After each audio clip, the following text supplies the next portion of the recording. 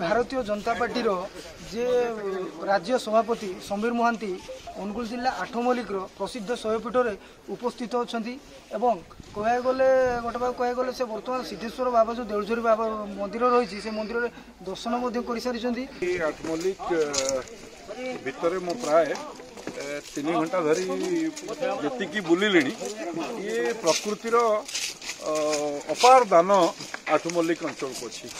ଏଠି ଯେଉଁଭଳି ବାବା ସିଦ୍ଧେଶ୍ୱରଙ୍କର ଦେଉଳଝରି ମନ୍ଦିର ଦର୍ଶନ କଲି ଇଏ ବୋଧେ ଓଡ଼ିଶାର ଏକମାତ୍ର ଅ, ଶୈବପୀଠ ଯେଉଁଠି ଏ, ଇଏ ଭୂମି ତଳୁ ଶିବଙ୍କର ଇଏ ହେଇଛି ଏ, ଆବିର୍ଭାବ ହେଇଛି ଏବଂ ଅନବରତ ଅନବରତ ଇଏ ଉଷ୍ଣ ପ୍ରସବଣ୍ଡ ପାଣି ଇଏ ଯାଉଛି।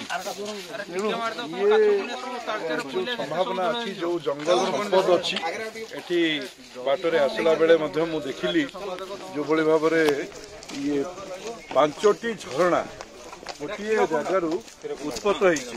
ମଲ୍ଲିକର ପଞ୍ଚଧାରା କଥା କୁହନ୍ତୁ। କିମ୍ବା ସିନ୍ଧ ସିଦ୍ଧେଶ୍ୱର ମହାଦେବଙ୍କର ପ୍ରାଙ୍ଗଣରେ ଏଇ ଯେଉଁ ଦେଉଳଝରି ଉଷ୍ମ ପ୍ରସବଣ ୟାକୁ ସିଏ ଦେଖିଲା ଜାଣିଲା ପରେ ଯେ ଏଇଟା ଅପ- ଅପୂର୍ବ ପ୍ରାଚୁର୍ଯ୍ୟର ଭରପୁର ରହିଛି ଏହାର ଡେଭଲପମେଣ୍ଟ ହେବା ଦରକାର ଏବଂ ଏ ରାଜ୍ୟ ସରକାର ପଚିଶ ବର୍ଷ ଏ ମୁଖ୍ୟମନ୍ତ୍ରୀ ପଚିଶ ବର୍ଷ ଶାସନ କଲେ ମଧ୍ୟ ଏଥିପ୍ରତି ଦୃଷ୍ଟି ଦେଇନାହାନ୍ତି।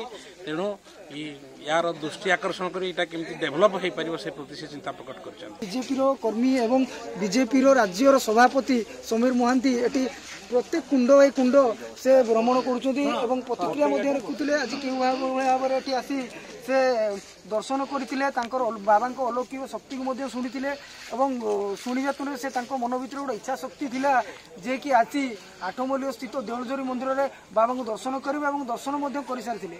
ଅନୁଗୁଳ ଜିଲ୍ଲା ଆଠମଲ୍ଲିକରୁ ସୁନୀଲ କୁମାର ମହାନ୍ତି ଅର୍ଗସ୍ ନ୍ୟୁଜ୍।